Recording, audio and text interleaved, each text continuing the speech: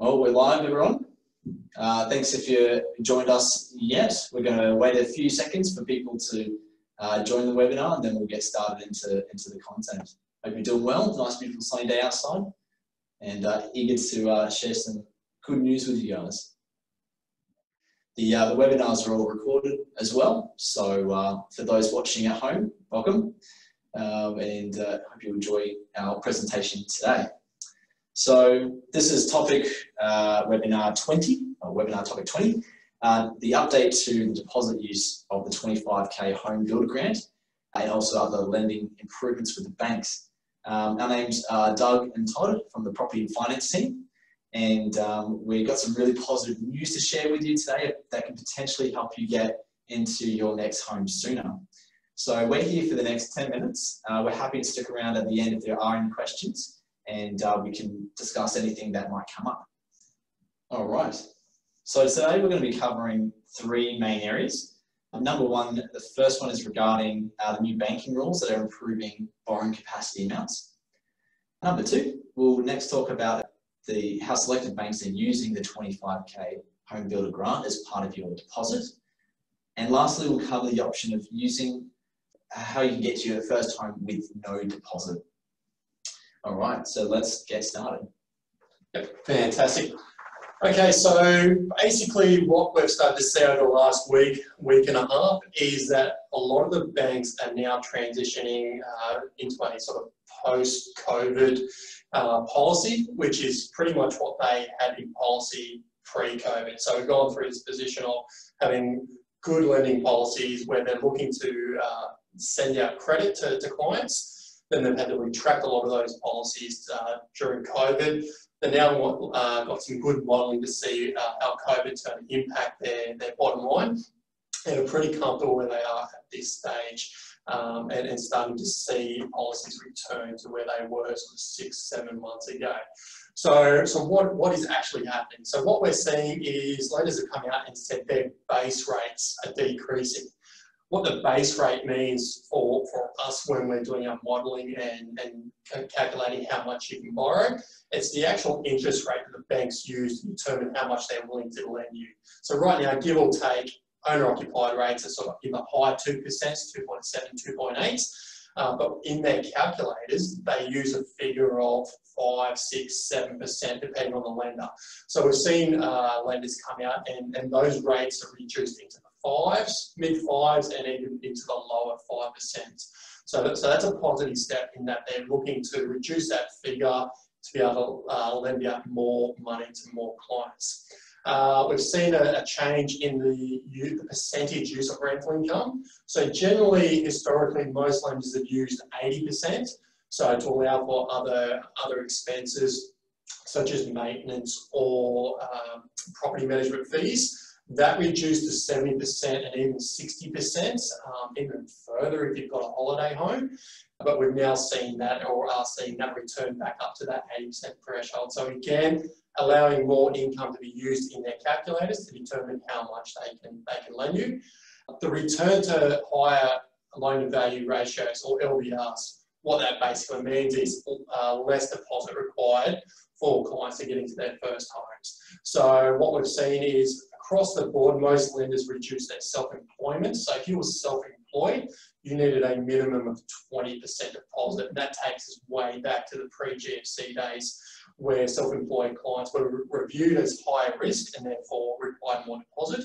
Uh, but now we're seeing um, back, we're back up to sort of 5 and 10% deposits for self-employed clients, uh, depending on your, um, your industry or your profession that may or may not include mortgage insurance. But again, we can have that conversation with you direct and confirm what best suits your individual circumstances. And then also another uh, part that's contributing is refinance rebates. So for the majority of our clients, we've you know we've already got the, the, correct structure and the, and the right banking policies to help you leverage into that next deal or you know continue on your finance uh, your wealth creation and finance journey. For our newer clients who may be coming to us with an existing home loan, you know, we'd be wanting to look at getting you into the right banking policy with the right loan structure in the to enable you to, to take those next steps much easier. So we're seeing the, the reintroduction of, of uh, lenders offering rebates anywhere between two to four thousand dollars. So again, lender specific, um, depending on how much you borrow, how much deposit you've got, how much equity you've got in the property, things like that. There are a couple of variables there, but that banks are realising now's a great opportunity for them to regain some market share, and those refinance rebates are going to cover things like uh, get out fees, uh, fixed rate termination fees to help you make that transition nice and easy. So, at the end of the day, what does this mean to you? Generally speaking, all these things combined, little sticks make big fire. So these things combined are helping you, our clients, to get a little bit more money to, to borrow a little bit more. And that could be the difference between getting into a property now or having to wait you know, further to, to get more deposit. Or it could mean getting into a the next tier of property or the, or the better property or the more specced up property, whether that's investment to, to get a better return on your new investment property or, or buying in a, a new home in a, a, maybe slightly more desirable location. So it's all positive news on the, on the, on the banking front. All right, so for the home builder, uh, so this is only very recently developed, um, the $25,000 being able to be used as part of the deposit. Um, so we've got that for first home buyers, of course, there's still the first home buyers grant. And there's a few other concessions and um, schemes as well that can help people uh, get into property.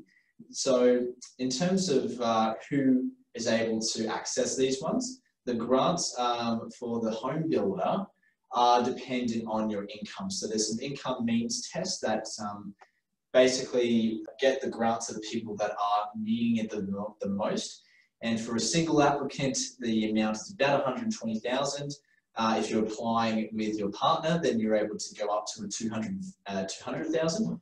Um, and that is based off your taxable income as well. So come have a chat to us about that because we can see if you're eligible to, to get that $25,000. Um, of course, that is for building a new home, um, not just buying something that is established. So there's a few other bits and pieces that's required from the home builder grants perspective. But um, we can walk you through all the different uh, requirements and make sure that you're going to be lined up for that.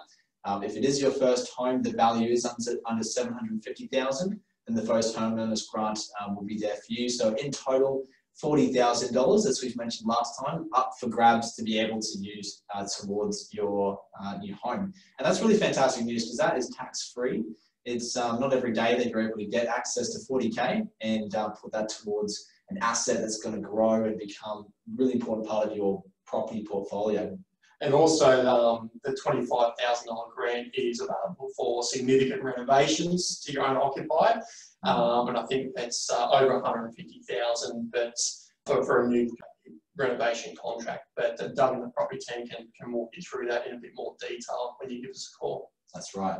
And you know, when will all this be able to happen? Well, different banks are allowing the, the grant to be used as a deposit in different ways.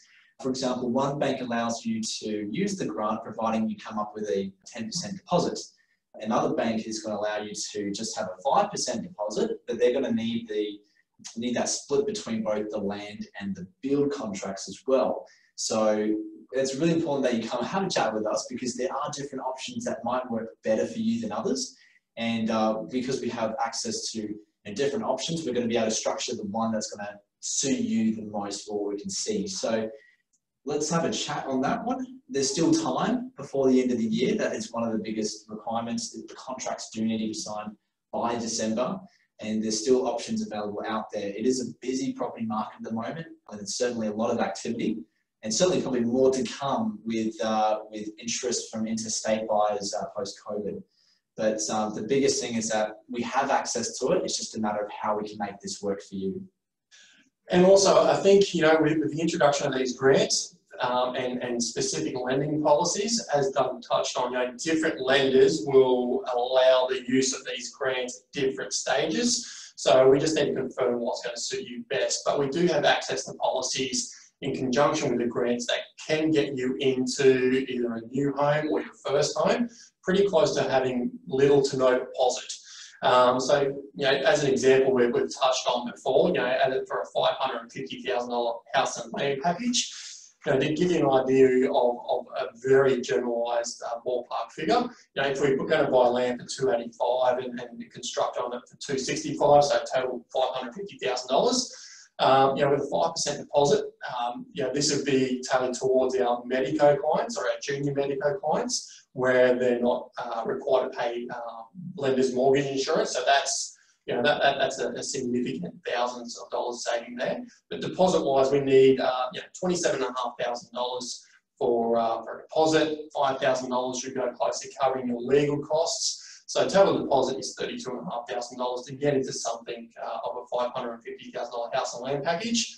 As you can see on the right hand side, you know, if you look at the $15,000 first homeowners grant plus the $25,000 uh, home builder grant, you know, there's a total of $40,000 and as Doug said, you know, that, that's tax free that you can utilise to, to cover the deposits to get into the property. So, so there are a number of lenders that will, will determine when we when we can and can't use those. But across the board, we've got a, a variety of options that we can. We're pretty confident that we can work with you guys to uh, to come up with a timeline of, of getting into that first home.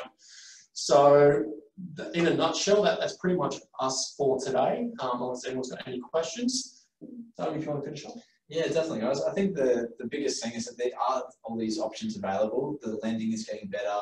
It is a busy market. So I think now's the time really to, to get serious about your next movement with property.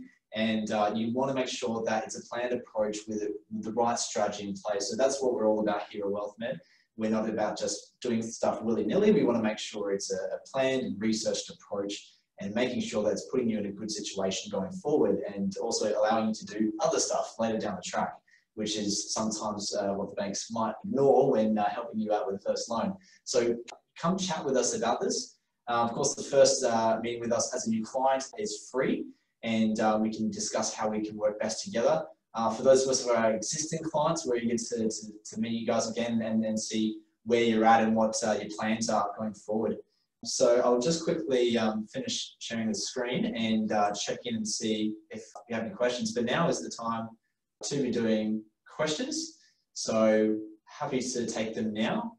Otherwise, please email us. We've got doug at wealthmed.com.au and todd at wealthmed.com.au. Check us out on our website, wealthmed.com.au, and we've got Facebook, or come by the office. You, you guys know where I just opposite school. Hope you're having a great day, guys. We'll wrap up for today, it's been a pleasure, as always. And um, we will see you guys next at uh, the next webinar. Fantastic. Thank you.